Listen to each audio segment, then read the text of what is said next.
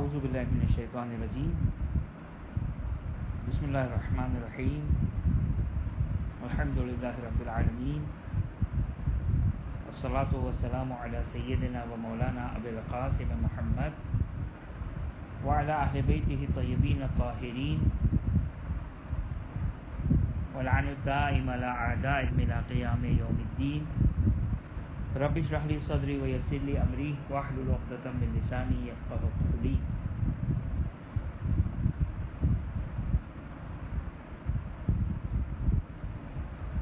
सुरहम की तफसीर में बसमीम की तफसीर के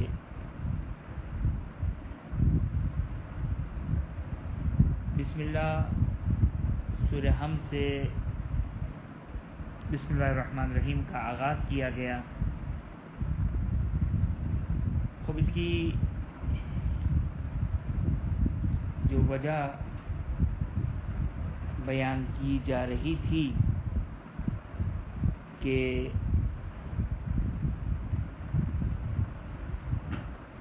क्यों बिस्मिल्लाहिर्रहमानिर्रहीम से सूर्य अलहम का आगाज़ हुआ या कुरान का आगाज़ बिस्मिल्लाहिर्रहमानिर्रहीम के ज़रिए से हुआ। तो बाहुई ने जो बयान किया, फरमाते हैं कि कुरान को नाजिल करने का मकसद ये है कि इंसान को कमाल की तरफ़ पहुँचाए और इंसान को शिरक और जहालत की तारीकी से मारफत और तोहहीद की नूर की तरफ़ ले जाया जाए।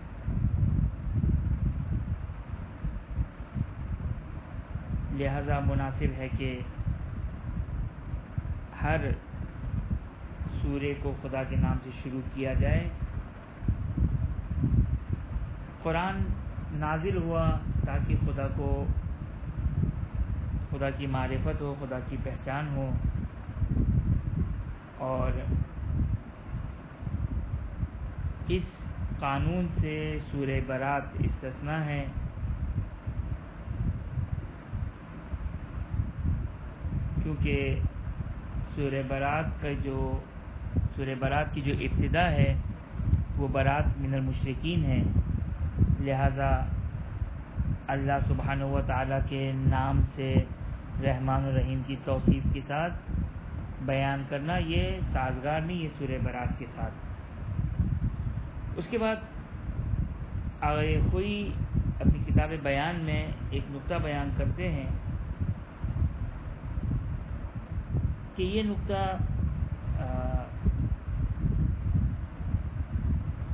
कि खुदावंद मताल ने अपनी किताब, यानी कुरान मजीद का आगाज़ रहीम से क्यों किया? फरमाते हैं कि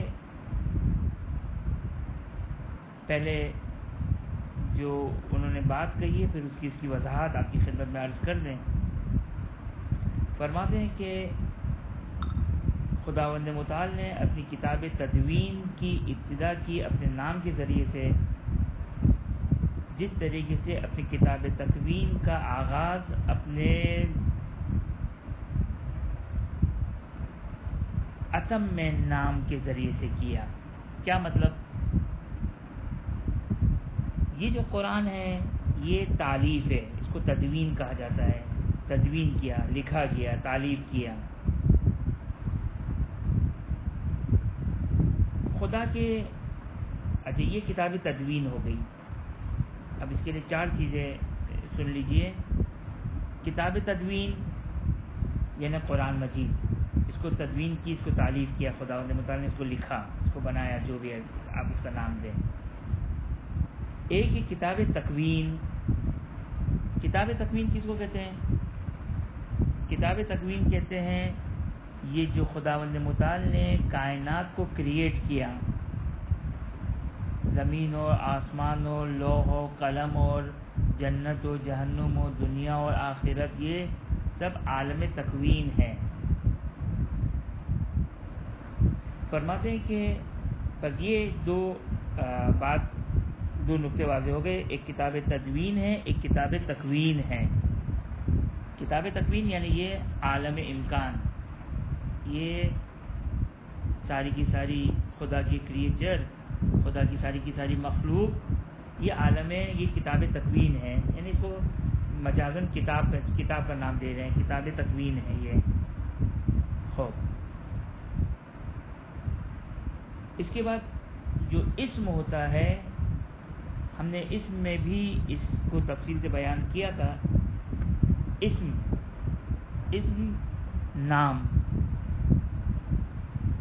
मिसाल के तौर पर अल्लाह इसम है। किस चीज़ का इसम है? उस ज़ात बारी ताला का नाम है। तो वो ज़ात बारी ताला मुसम्मा हो जाएगा, ये इसम हो जाएगा। या मिसाल के तौर लफ्ज़ रहमान, लफ्ज़ रहीम, ये सारे अल्फाज हैं। ये सारे के सारे अल्फाज हैं। अल्फाज हकीकत नहीं हुआ करते हैं, बल्कि अल्फाज जिन चीज़ों के ऊपर दलालत करते हैं, वो हकीकत हुआ करते हैं। इसकी तफसील मैंने पहले बयान की थी कि मिसाल के लफ्ज़ पानी, लफ्ज़ है पे, अलिफ, नून, ये पानी W A T E R water ये लफ्ज़ है। लेकिन वो जो खारिज में, वो जो वाक़े में, हकीकत में, लिक्विड फॉर्म में जो पानी है, उसके लिए इस लफ्ज़ को बनाया है। तो वो जो खारिज में पानी है, उसको कहेंगे मुसम्मा। मुसम्मा कहेंगे। इसम वाटर वो मुसम्मा जो ग्लास में पानी है। इसी तरह से दुनिया के हर अल्फाज, ये जितने भी अल्फाज हैं, अल्फाज फ़कत व फ़कत ज़बान से अदा किए जाते हैं। खुद अल्फाज की हकीकत कुछ नहीं है। अल्फाज की हकीकत कुछ नहीं है। अल्फाज फ़कत बनाए जाते हैं। इसको कहते हैं एतबार किया जाता है, बनाया जाता है। एतबार किया जाता है, हकीकत नहीं है। लफ्ज़ बनाने वाले ने लफ्ज़ बनाया तो ये लफ्ज़ बन गया। जैसे पानी की अपनी एक हकीकत है, आग की अपनी एक हकीकत है। खुदा मुताल ने आग बनाई, पानी बनाया। अब ऐसा नहीं है कि पानी के लिए उस लिक्विड फॉर्म के लिए पानी भी ऑटोमेटिक उसका नाम खुदा मुताल ने आसमान से नाजिल किया। नहीं, वो पानी का लफ्ज़ बनाने वालों ने बनाया। अब मुमकिन है, बनाने वाले एक आम इंसान हो, अरब ज़बान हो, फारसी ज़बान हो, इंग्लिश ज़बान हो, उर्दू ज़बान हो तो ये अल्फाज बनाने वाले होते हैं। अल्फाज अलग चीज़ें अल्फाज उसकी जगह आप कर दें इसम। ये इसम है और जिन चीज़ों के लिए है, उसको कहेंगे मुसम्मा। उसको कहेंगे मुसम्मा। तो बस आप लोगों ने मुलायजा फरमाया कि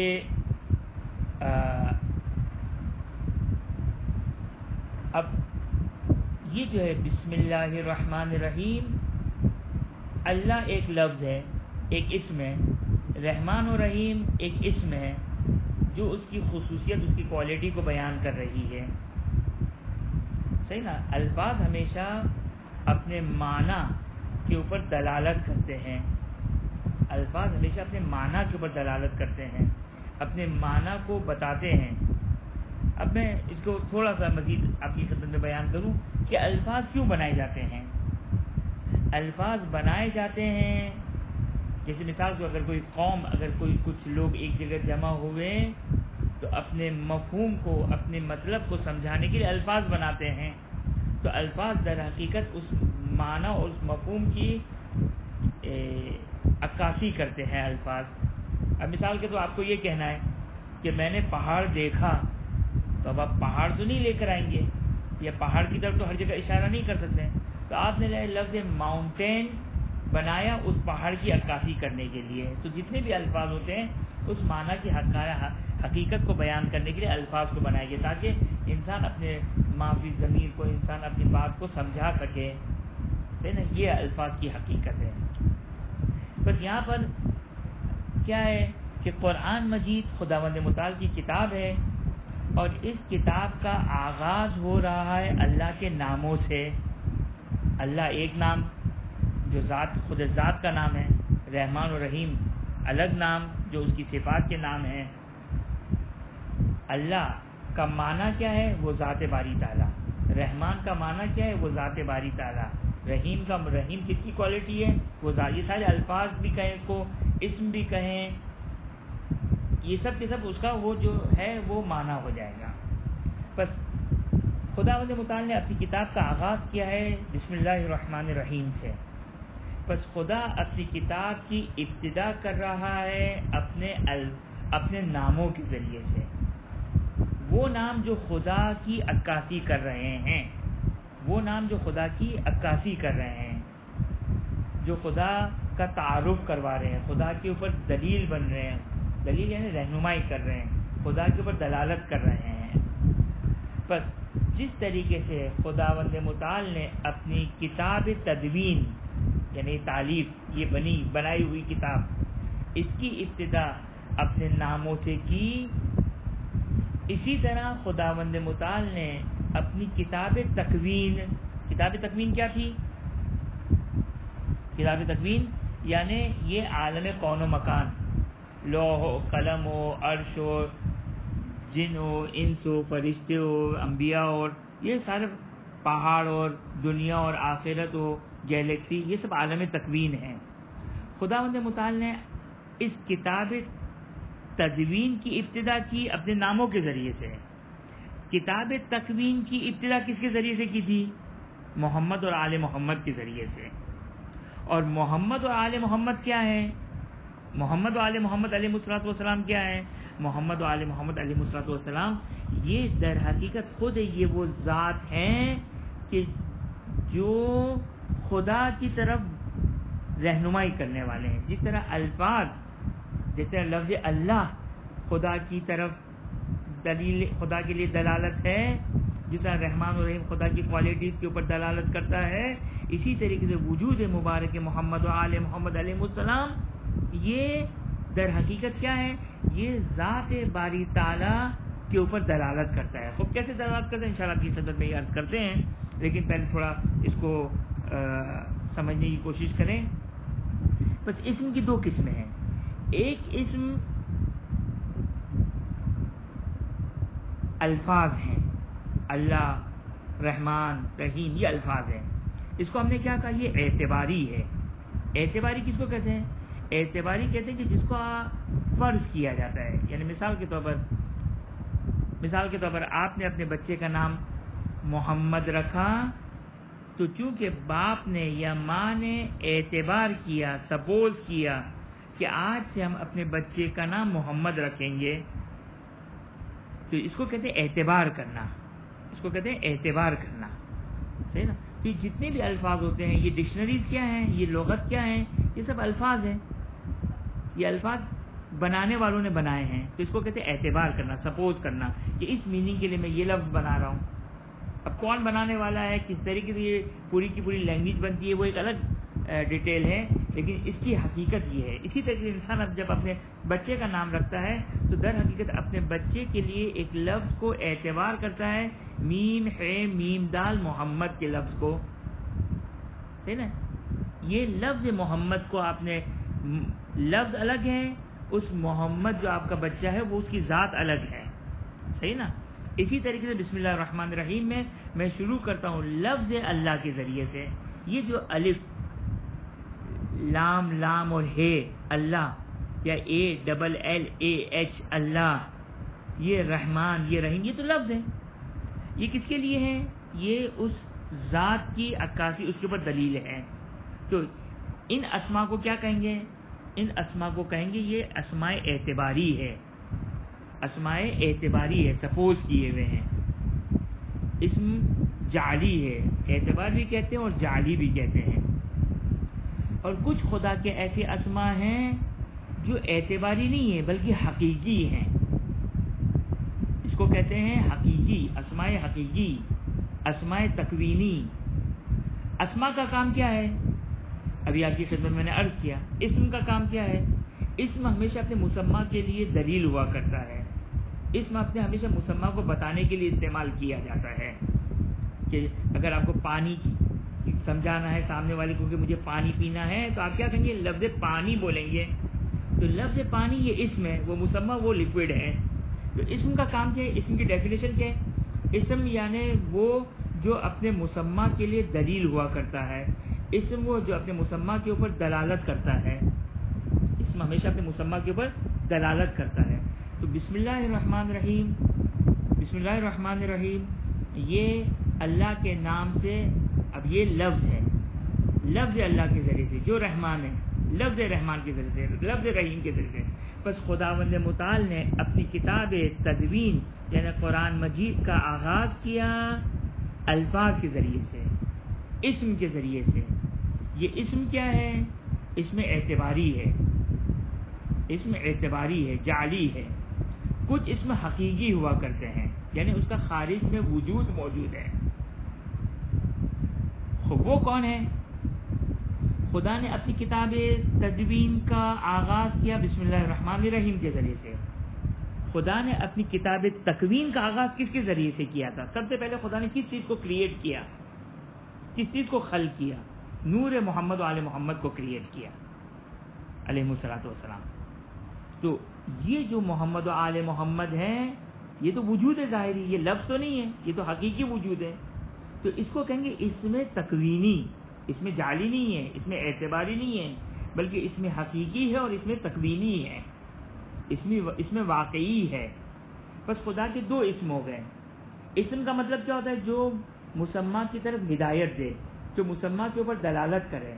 लफ्ज़ अल्लाह भी अल्लाह के ऊपर दलालत करता है, मोहम्मद आल मोहम्मद का वजूद भी अल्लाह के ऊपर दलालत करता है।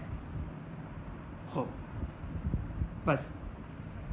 क्या बयान करते हैं? आगे कोई आगे कोई बयान करते हैं कि खुदा वंद मुताल ने जिस तरीके से अपनी किताब तकवीन का आगाज़, अपना अपने इसमें तकवीनी के ज़रिए से किया था, इसी तरीके से खुदावंद मुताल ने अपने, अपनी इस किताब तजवीन का आगाज़ इसमें जाली और इसमें एतबारी के ज़रिए से किया।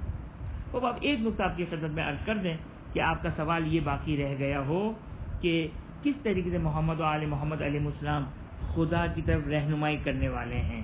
खुदा के लिए दलील है। खुदा के वजूद को बयान करने वाले हैं, खुदा के वजूद को साबित करने वाले हैं। खूब। खूब तवज्जो करें।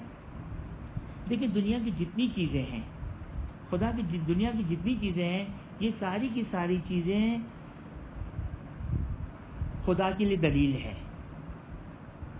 और बचपन में हम पढ़ते हैं कि जब हमने देखा कि हम समंदर के किनारे से गुजरे, हमने देखा कि वहाँ पर ऊँट के पंजों के, ऊँट के कदमों के निशान है तो हमने कहा कि यहाँ से ऊँट गुजरा है। तो ये ऊँट के जो निशानात हैं, ये दलील हैं उस ऊँट के लिए, ऊँट की गुजरने के लिए, खुद वजूद ऊँट के लिए। ये निशानात तो ऊँट नहीं है ना? ये निशानात ये निशानात अलामत हैं, ये ऊँट के कदमों के निशानात अलामत है, किसी की अलामत है? ताकि जो वो ऊँट साबित हो जाए कि यहाँ से ऊँट का वजूद साबित हो गया कि एक ऊँट था जो यहाँ पर था एक ज़माने में। तो बस, इसको क्या कहेंगे? ये ऊँट के कदम के निशानात इसमें हैं उस मुसम्मा के लिए, यानी उस ऊँट के लिए। हो। इसी तरीके से, बस आप क्या कहते हैं? बस आप कहते हैं कि ये जो दुनिया के पहाड़ और गैलेक्सी और ये चाँद और सितारे और कहकशा ये सारी की सारी चीज़ें दलील है कि कोई ना कोई बनाने वाला है, कोई ना कोई खुदा है। तो ये सब के सब असमाउल्ला है। लेकिन ये असमाउल्ला नाकिस असमा है। जो असमा ताम हैं, वो मोहम्मद वाल मोहम्मद अलैहिस्सलाम है। हती जब्राइल नहीं है हती मीकाइल नहीं है हती लोह नहीं है हती कलम नहीं है हती हज़रत आदम से लेकर हज़रत ईसा तक जितने सारे अम्बिया हैं, ये सारे के सारे हैं, इसमें है ये। खुदा की तरफ़ रहनुमाई करने वाले हैं, खुदा की तरफ़ दलील बनने वाले हैं, खुदा की तरफ़, खुदा की अक्कासी करने वाले हैं। लेकिन ये अतम नहीं है। हमने एक लफ्ज़ कहा था, अतम। अतम यानी मुकम्मल, तमाम। अतम किस अतम का मतलब अतम का ट्रांसलेशन क्या निकलेगा? कंप्लीट इसम जो कंप्लीटली खुदा के वजूद को बयान करने वाले हों। वो मोहम्मद वाले मोहम्मद है। कि खुदावंद मुताल ने इन हस्तियों को इसीलिए हम क्या कहते हैं? अहल बैत मजहर सिफात इलाही है। मजहर सिफात इलाही है। लिहाजा रिवायतों में क्या मिलता है? रिवायतों में मिलता है कि अहले बैत अठारह फरमाते नहनु असमाउल हसना। हम अल्लाह के नाम हैं। बस अल्लाह भी अल्लाह का नाम है। मोहम्मद आल मोहम्मद का वजूद मुबारक, न कि लफ्ज़ मोहम्मद, न लफ्ज़ अली अली सलाम खुद वजूद मुबारक मोहम्मद सल्लल्लाहु अलैहि वसल्लम अमीरमिन बिनते रसूल, इमाम हसन, इमाम हुसैन और अहल बैत अठार अलैहिस्सलाम खुद इनका वजूद, खुद ये ये क्या है? ये असमाए इलाही है। क्योंकि ये खुदा की तरफ़ दलील है। जब इंसान इनको देखता है कि इतने इतने इतनी मुकम्मल हस्तियाँ खुदा वंद मुताल ने बनाई है तो हमें खुदा के इल्म, खुदा की कुदरत, खुदा की ताकत, खुदा के वजूद हमारे लिए जो वो साबित होता है। पर आपने मुलायजा फरमाया कि जिस तरीके से खुदा मुताल ने अपनी किताब तकवीन को, जिस तरह खुदा मुताल ने अपनी किताब तकवीन को अपने असमाए अतम के ज़रिए से कंप्लीट इसम के ज़रिए से, जो मोहम्मद आल मोहम्मद थे, उनके ज़रिए से आगाज़ किया तो अपनी किताब तदवीन का आगाज़ भी खुदा मताल ने अपने मुक़दस नाम के ज़रिए से किया है। और वो नाम भी कैसा नाम है? बिस्मिल्लाहमान रही जैसा कि रिवायत में बयान किया गया कि ये इसमें आज़म है। ये इसमें आज़म है और यानी माजरत के साथ कि अकरब इला इसम आज़म, कि ये अल्फाज, ये बिस्मिल्लाहमान इसमें आज़म से इतना ही करीब है जितनी आँख की सफ़ेदी इंसान की आँख की स्याही से जो वो करीब है। या बिस्मिल्लाहमान रहीम के बारे में कहा गया कि नबी अकरम सल्लल्लाहु अलैहि वसल्लम से हदीस है कि कुल्लु कलामिन और अमर ज़ीबाल लम युफ्ता बिज़िक्र अज़्ज़ा वजल फ़हुवा अबतर, कि ये इसमें आज़म, ये बिस्मिल्लाहमान रहीम कि रसूल खुदा सल्लल्लाहु अलैहि वसल्लम से रिवायत है कि अगर कोई शख्स कोई भी कलाम या कोई भी अहम तरीन काम को अंजाम देता है और उसका आगाज़ ज़िक्र अल्लाह सुबहान ताली से ना करे तो वो काम नामुकम्मल रह जाता है। या अमीरमिन से भी इस किस्म की जो वो रिवायत मौजूद है। बस, ये अगर कोई का बयान आप लोगों ने मुलायजा फरमाया कि कोई यहाँ पर ये फरमाते हैं कि जिस तरीके से अच्छा यहाँ पर एक नुकता और बयान कर दिया कोई ने आ, दो मिसालें दी हैं अपने असमा के लिए इसमें तकमीनी के लिए। दो कुरान की आयात बयान की है।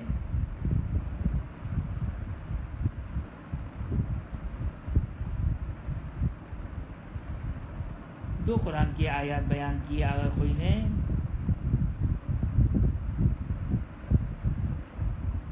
एक है सूर्य तूर की, आयत नंबर थर्टी फाइव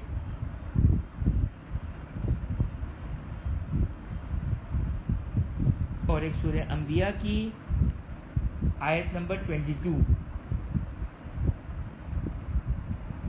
ये दो मिसालें किस चीज़ के लिए हैं? कि किस तरीके से असमाय तकवीनी खुदा के वजूद के ऊपर दलालत करते हैं।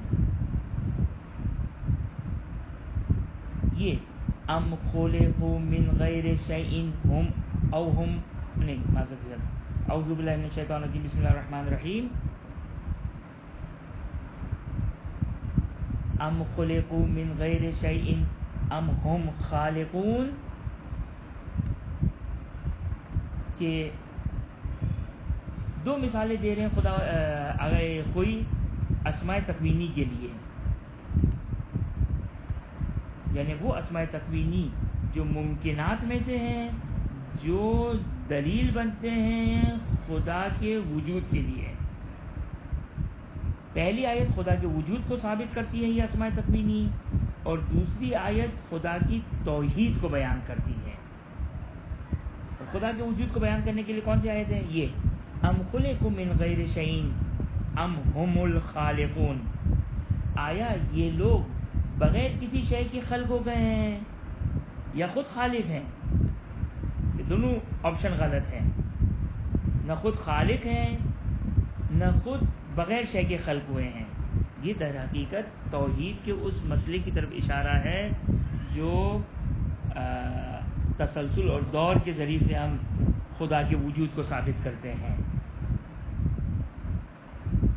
तो ये जो पूरी की पूरी कायनात है ये आया खुद मिन गैर शहीन बगैर किसी शय के खल हो गई है या या ये सारे के सारे खल करने वाले हैं, सारे के सारे खालिक हैं। क्योंकि ये दोनों ऑप्शन गलत है, बस ये क्या निकलेगा? सब के सब जो वो मखलूक खुदा हैं। और ये खालियत इससे साबित होती है। सूर्य तूर की आयत नंबर थर्टी फाइव और सूर्य ट्वेंटी वन सूर्य अम्बिया की आयत नंबर ट्वेंटी टू ये तोहहीद के ऊपर, ये ये असमाय तकवीनी तोहहीद के ऊपर दलाल करते हैं। लौका नफ़ीमा आलियातुल्ला लफसद था कि अगर ज़मीन और आसमान में अगर मुतद खुदा होते तो फसाद हो जाता। बस, अदम फसाद, यानी कायनात में फसाद ना होना, कायनात का इसलाह शुदा होना, कायनात का बिल्कुल तमाम नक्स और ऐब से साफ़ और पाक होना, ये खुदा की तोहहीद को बयान कर रहा है। बस ये दो कुरान की आयत को बयान लेकर बयान कर रहे हैं कि जो असमाय तकवीनियाँ हैं, जो मुमकिनात में से हैं, जो दलालत करते हैं, खुदा के, एक खुदा की खालिकियत को, कि एक खालिक, खाल, खुदा खालिक इसके, यानी एक वजूद खालिक के ऊपर दलालत करता है और दूसरा दलाल, दूसरी आयत दलालत करती है कि वो खालिक जो कि वो तोहहीद एक है। खूब आपने मुलायजा फरमाया। अब आगे खुई की एक इबारत से ऐसा लगता है कि आखिरी गोया इसके लिए दलील लेकर आ रहे हैं कि जिस तरीके से आलम तक, किताब तकवीन का आगाज़ खुदा ने अपने इसमें तकवीन ताम के ज़रिए से किया, इसी तरीके से खुदा ने अपनी किताब तदवीन का आगाज़ भी अपने इसमें जलाला, यानी बिस्मिल्लाह रहीम के ज़रिए से किया। अब अगर ये दलील है तो अब दलील नहीं बन सकती है। और कैसे हम कह सकते हैं ये कि आया बातें सारी सही है।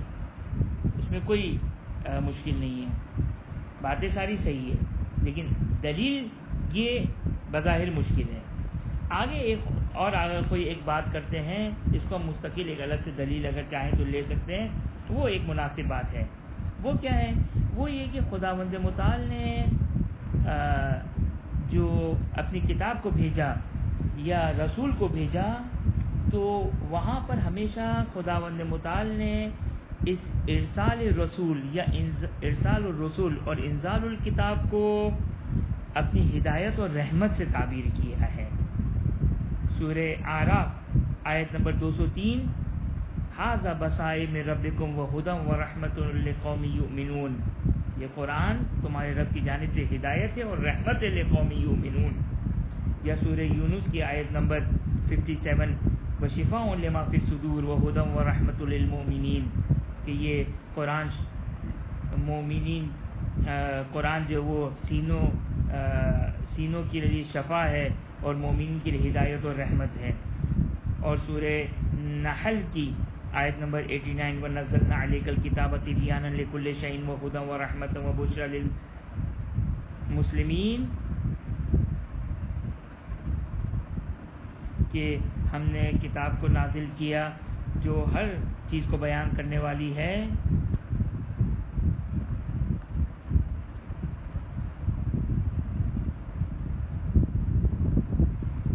जो हर चीज़ को बयान करने वाली है।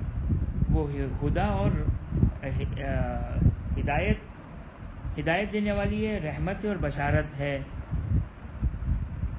और सूर्य बनी इसराइल की आयत नंबर 82 में भी वनज़मिनकुरान मा हुआ शिफ़ाउन व रहमतुल तो हर जगह कुरान और या अम्बिया वमा अरसलना का रहमतमी तो इरसाल रसूल और इंजाल किताब को किताब को रहमत से ताबीर किया गया है। लिहाजा मुमकिन हम ये कहें कि चूँकि इंजाल कुरान इंजाल कुरान चूँकि रहमत इलाही का सबब बनता है लिहाजा खुदा ने मुताल रहमान और रहीम के ज़रिए से अपनी इस किताब का आगाज़ किया। यहाँ तक बिस्मिल्लाह रहमान रहीम मुकम्मल हुआ। उसके बाद हम शुरू करते हैं अल्हम्दुलिल्लाह रब्बिल आलमीन। लफ्ज़ अलहमद को ज़रा मुलाहजा फरमाएँ। अलहम्द, ये हमद, चार अल्फाज हैं। इन चार ये चार अल्फाज एक दूसरे से बहुत ही करीब करीब हैं। एक हमद है, एक मदा है जिसको मदह कहेंगे, उर्दू में मदह कहेंगे। एक शुक्र है और एक तस्वीर है। तस्वीर ये चार अल्फाज हैं। अब इन चारों के दरमियान क्या फ़र्क है? हमद। हम का ऑपोजिट क्या होता है?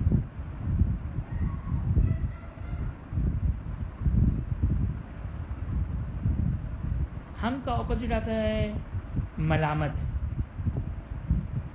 मलामत करना। हम का खुद, हम का मतलब क्या है?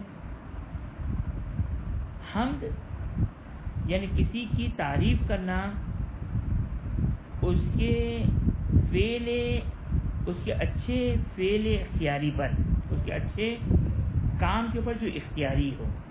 लेकिन दो किस्म के काम होते हैं। एक काम इख्तियारी होता है, एक काम गैर इख्तियारी होता है। मिसाल के तौर पर, एक खूबसूरत पत्थर है, एक खूबसूरत फूल है, एक खूबसूरत मंजर है तो ये ये एक खूबसूरत शख्स है तो इसकी जो खूबसूरती है, ये गैर इख्तियारी है। ये उस फूल के इख्तियार में नहीं कि वो खूबसूरत हो। उस शख्स के इख्तियार में नहीं है कि वो खूबसूरत हो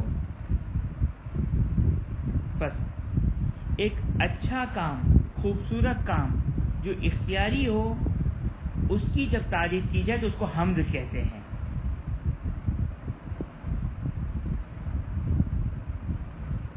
उसको हम कहते हैं।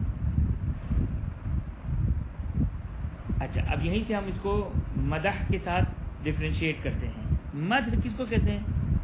मध यानी मदह, ये आम है।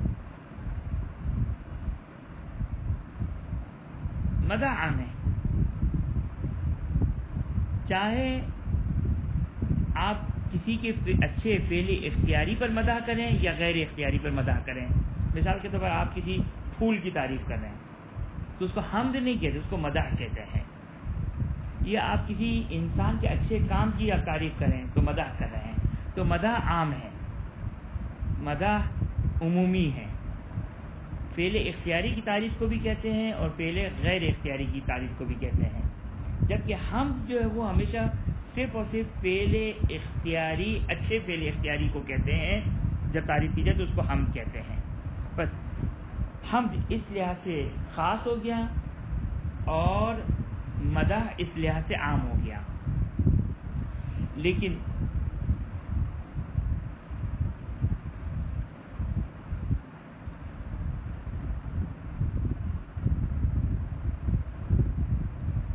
ये एक फ़र्क हो गया। अब आए हम हम पे बात करते हैं। अभी मदा को छोड़ दें। मदा अच्छा हम जो है, जब इंसान हम करता है तो मुमकिन है हमद करने वाला उसके ऊपर जिसकी हम की जा रही है, उसने एहसान किया है, या उसने उस पर एहसान नहीं किया है। जैसे मिसाल दूँ कि खुदावंद मुताल ने मुझे एहसान किया, मुझे रिस्क दिया तो मैंने खुदा की हम की। तो मैं जो हमद करने वाला हूँ, खुदा ने खुद मुझ पर एहसान किया। एक दफ़ा मुमकिन है मैं हम करूँ खुदा की, एक उसके अच्छे काम के ऊपर, लेकिन वो एहसान मुझ पर ना हो। जैसे खुदा मुताल ने इस खूबसूरत दुनिया को खल किया। खूबसूरत दुनिया को खुदा ने खल किया, ये उसका फेल इख्तियारी है ये उसका अपना खुद एक एक्ट है, उसका काम है ये। और अच्छा काम है, खूबसूरत काम है। लेकिन मुझ पर तो कोई एहसान नहीं है। एक अच्छी सी दुनिया खल की है खुदा ने। बस हम इस लिहाज से उमूमियत रखता है कि चाहे हम करने वाले पर एहसान हो, चाहे हम करने वाले पर एहसान ना हो।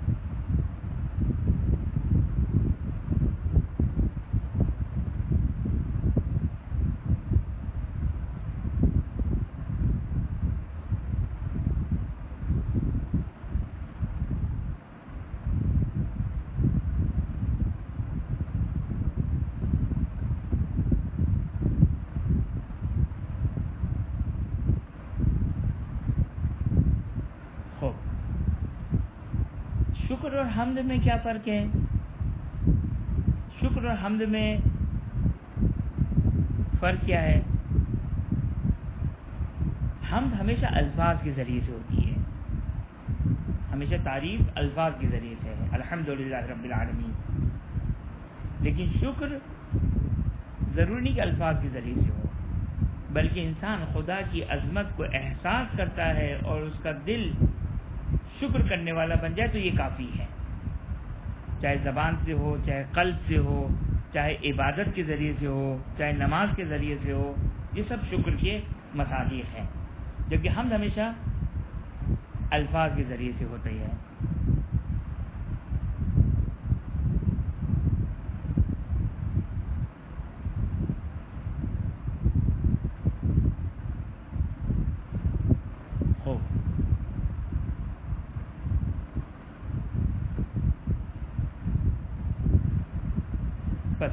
किया आपने? कि हम की अदायगी अल्फाज के ज़रिए से, शुक्र की अदायगी उमूमी तौर पर है।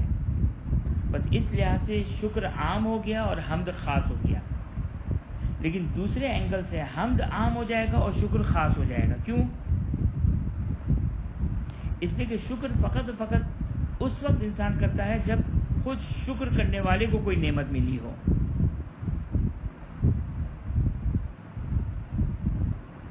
इंसान शुक्र कब करता है? जब इंसान को कोई नेमत मिली, कोई बला टली।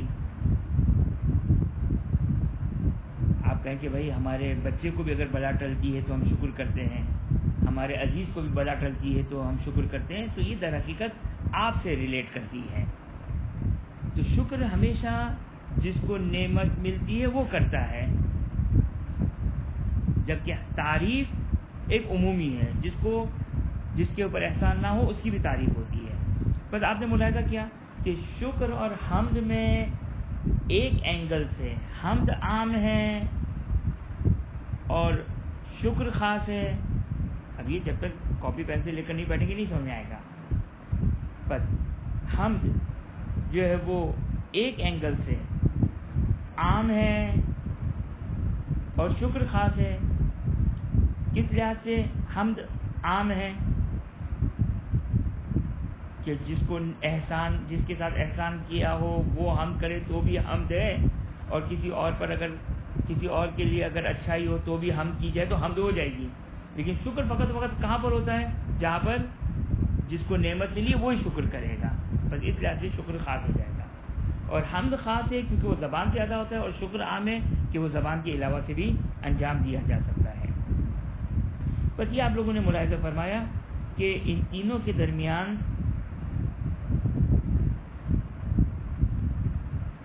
इस फ़र्क को मुलायजा फरमाया।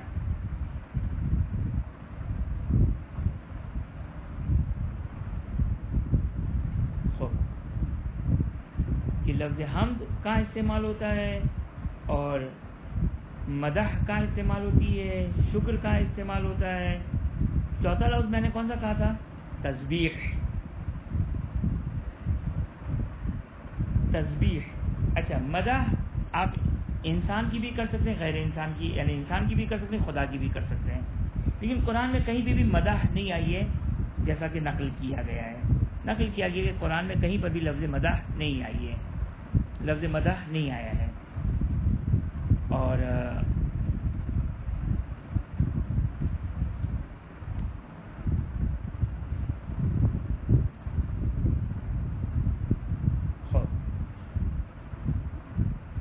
मदा कुरान में कहीं पर भी नहीं है। तस्बी किसको कहते हैं? अच्छा अब तस्बी और अलहम के दरमियान कंपैरिजन करते हैं। अलहम किसको कहते हैं? पहले मैं अलहम को थोड़ा सा माना बयान कर दूँ। हम गैर खुदा की हो सकती है। हम गैर खुदा की हो सकती है। लेकिन लफ्ज़ अलहमद, ये गैर खुदा के लिए नहीं हो सकता है। इसमें कौन सी खसूसियत है? कौन सी खसूसियत है? मिसाल के तो आप कह सकते हैं? हमद तो जैदन। मैंने जैद की हमद की, उसकी तारीफ़ की। लेकिन अलहमदुल जैदिन, ये नहीं हो सकता है। अलहमदुल बकरिन, ये नहीं हो सकता क्यों? इसलिए कि हमद के ऊपर जो अलिफ्लाम दाखिल है, अल, इस अल के अपनी खुद एक मीनिंग है। वो क्या है मीनिंग? अल के मीनिंग ये है कि सारी की सारी हमद सिर्फ़ खुदा के लिए है इस अलिफ्लाम को कहते हैं अलिफ्लाम इस्तेगराक। अलिफ्लाम इस्तेगराक, यानी इस्तेगराक कहते हैं सब के सब। सारी की सारी हम सिर्फ़ खुदा के लिए हैं। सारी की सारी हम सिर्फ़ खुदा के लिए है।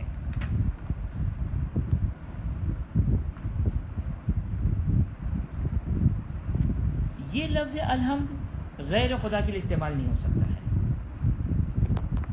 हाँ कहें, मैंने जैद की, हम की, फला काम में तो ये हो सकता है, एक पर्टिकुलर काम में। लेकिन अलहम का इस्तेमाल गैर खुदा के लिए नहीं हो सकता है। इसी तरह लफ्ज सुबहान गैर खुदा के लिए नहीं हो सकता है। अब हम इन दोनों के आपस में इसको देखते हैं कि क्या इसका कंपैरिजन करते हैं हमद और तस्वीर का।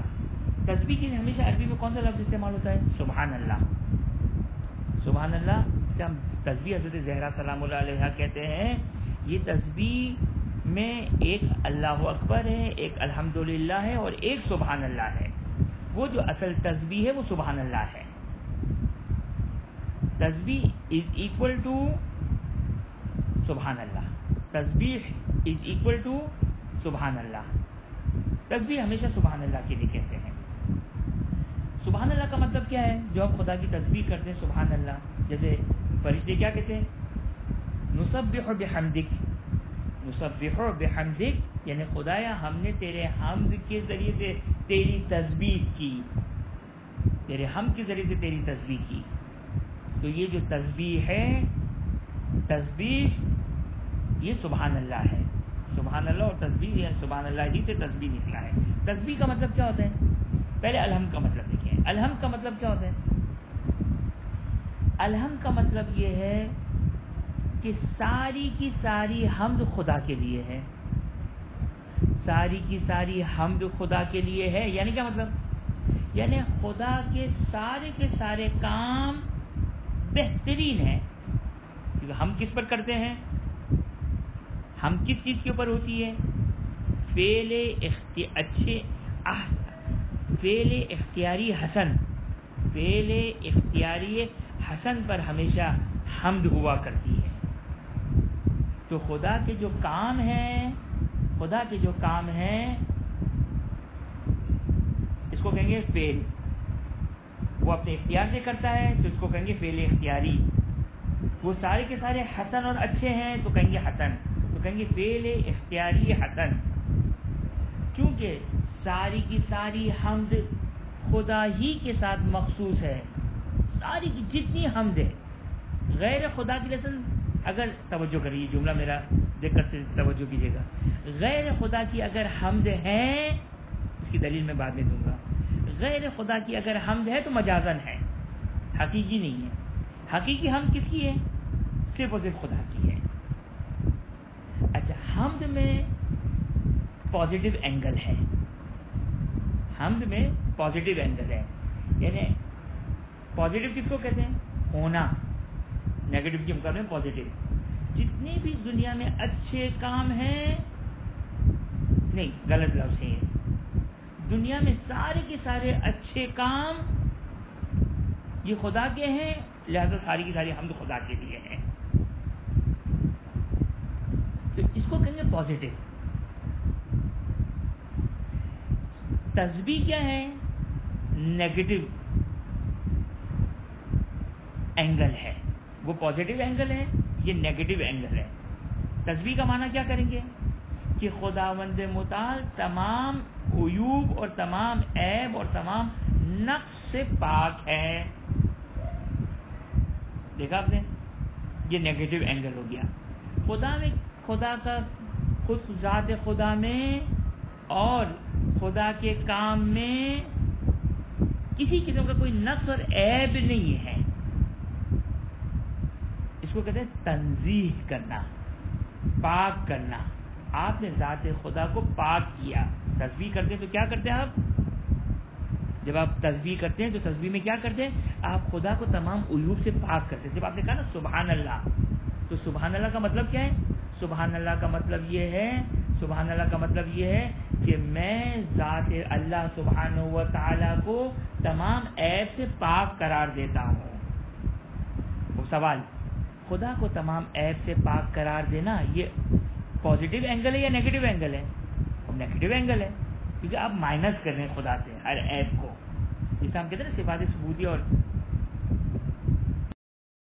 तवज्जो करें।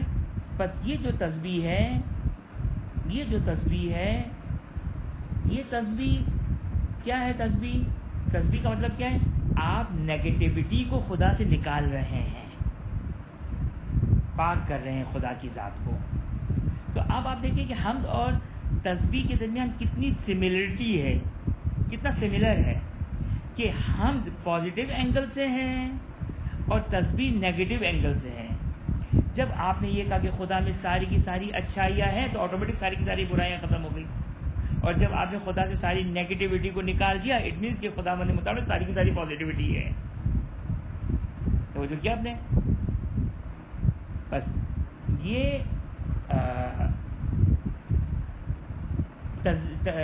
तस्बी और हम के दरमियान जो वो कंपैरिजन आप लोगों ने मुलायजा फरमाया। अब एक नुकता,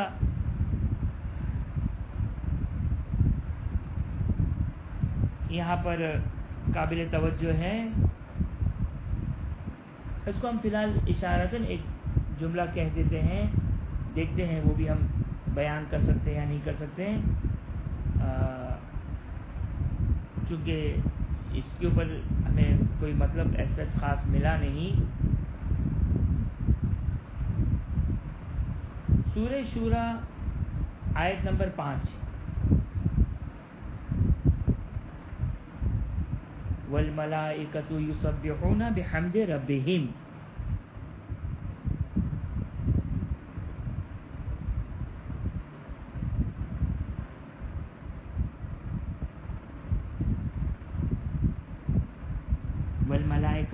युसब्बिहूना बिहम्द रब्बिहिम देखिए युसब्बिहूना युसब्बिहूना क्या है तस्बीह है बिहम्द रब्बिहिम यानी मलाइका अपने रब के हमद के ज़रिए से तस्बीह करते हैं। यहाँ लफ्ज़ तस्बीह भी आया है, हमद भी आया है। सूर्य रात आयत नंबर थर्टीन वो युसब्बिहुर्रादु बिहम्दिही। रात किसको कहते हैं? बिजली। कि जो बारिश के वक्त बादल जो बरस, बादल जो गरजते हैं, उसको रात कहते हैं। कि रात तस्बी करते हैं खुदा की हमद के ज़रिए से। सूर्य बनी इसराइल आयत नंबर 44 व इम मिन शैन इल्ला युसब्बिहु कि दुनिया में कोई भी शय नहीं है मगर खुदा की हम के ज़रिए से तस्वीर करते हैं। तो अब देखिए इसकी इस, ये तीनों आयतों को मुलायजा फरमाए। या मलाइका ने जब हज़रत आदम को खलीफा बनाया था तो मलाइका ने क्या कहा था? नुसब हमदिक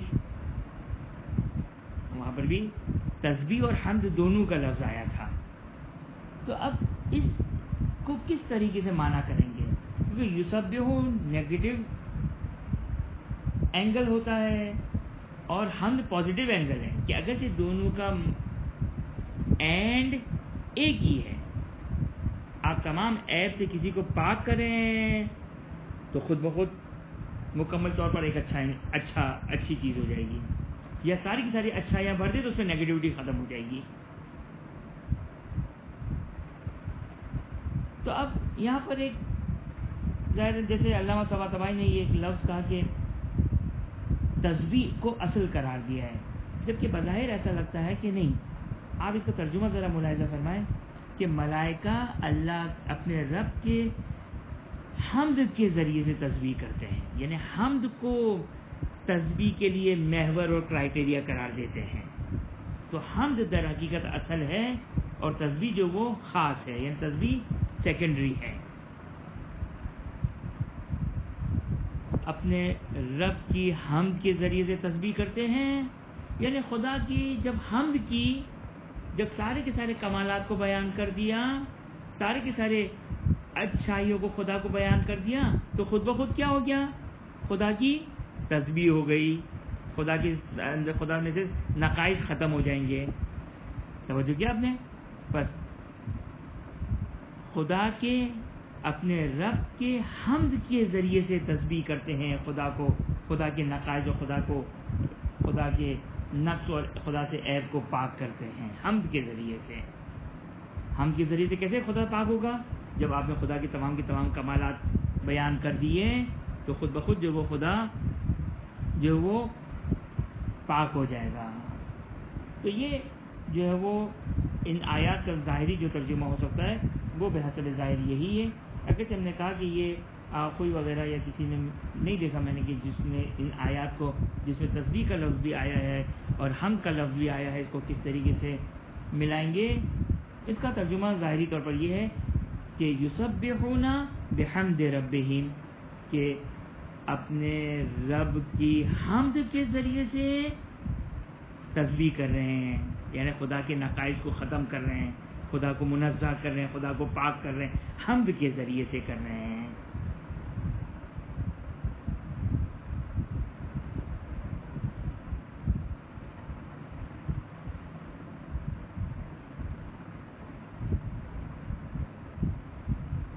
खूब अब यहाँ तक हम जो आज हद तक गुफ्तु रखते हैं इन इस मज़ीद हम के ऊपर गुफ्तु रहेगी और आगे अल्हम्दुलिल्लाह रब्बिल रहमान रहीम। इसका आपस में क्या इर्तबात है, क्या कनेक्शन है इन इसको अगली गुफ्तु में इसको इसको इन डिस्कस करेंगे। वाखिर दावाना अलहमदिल्ला रब्बिल